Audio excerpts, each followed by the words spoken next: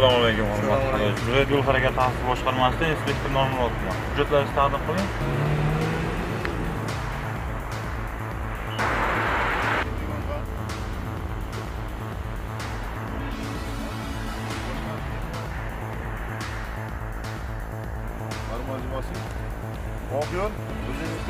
Transport vositasi mana jarqulon tumanida to'xtatib tekshirganda e, oilalarni faoliyatiga ruxsatnomasi tonirovka o'rnatilganligi aniqlandi avtomashina haydovchiga nisbatan ma'muriy bayonnoma rasmiylashtirildi avtomashina vaqtincha jarima uchastkasiga olib ketyapmiz sotuvchi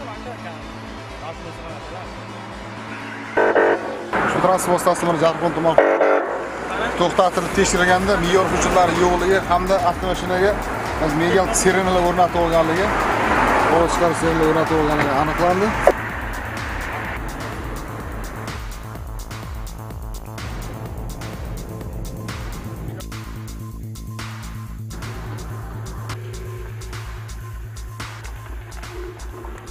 hurmatli haydovchi mana sizga nisbatan ma'muriy bayonnoma rasmiylashtirdim.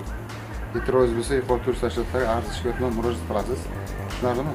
Bunday holat boshqa umuman qaytarilmasin ushbu mana shu davlat raqamini yoshirib yurish yopib yurish mana shu davlat raqamini yechib yurish mana shu tezlikni oshirish og'ir mana shu e, avariya holatlarini olib kelib chiqishiga sabab bo'lishini bilasizmi? Bilardingizmi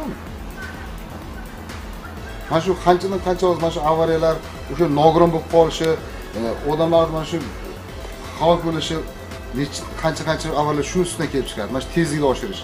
Mana shu radarlar bekor qo'yilmagan o'sha tezlikni oshirmaslik sababi shu. Sizlarni sog'liklaring emas sizlar uchun shu fuqarolarni o'sha sog'lig'iga tinchlik uchun.